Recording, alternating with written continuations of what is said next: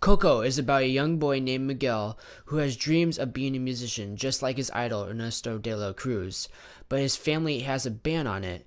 So, in his attempts to pursue his dreams, he finds himself in the land of the dead where he learns more about his family history. Right off the bat, I want to say this movie has some of the greatest animation I've ever seen in forever, especially when you get into the land of the dead portion. Uh, everything just feels much more cinematic than it usually does, at least for me in an animated film.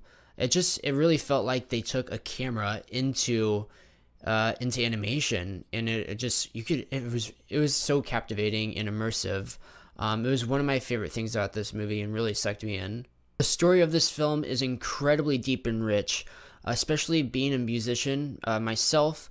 Uh, this really really touched me because you could tell that this kid really wanted to be a musician, and it was hard for him because nobody around him wanted him to be that.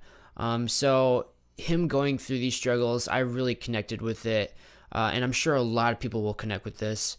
Um, it's one of the best stories I've seen in a long time, and the last 10 minutes especially, it really had people crying. I mean, it's just so it's it's so touching, and it really pulls at the heartstrings.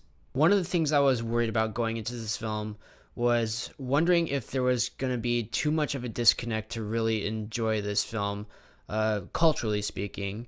Um, and I'm happy to say that there isn't. It actually really adds to the film. Uh, I just found myself wanting to know more, uh, and I was really appreciative of how deep they went uh, with exploring Spanish culture. Really don't have anything bad to say about this film. Uh, I think it told its story perfectly. It was so seamless and beautiful. Um, the only thing I would say is the I was expecting a musical uh, going into this movie. I think it's just the way they marketed it that it kind of led on to be a musical, but it's not. It's really just the the music in it is just Spanish music and Mex- Mexican music, but there's no like huge music numbers that you would see in a musical. Um, so it's not really a negative. It's just um, don't expect a musical. If you're a big fan of animated films and great storytelling, I would highly, highly recommend Coco to you. Um, it's a fabulous film. I would give this movie an A. Um, it's just, it's so solid, you know, in all aspects. Um, I highly recommend you see it as soon as possible. Um, so let me know what you think of Coco in the comment section below. Uh, like this video for me and subscribe to my channel, and I'll see you at the movies.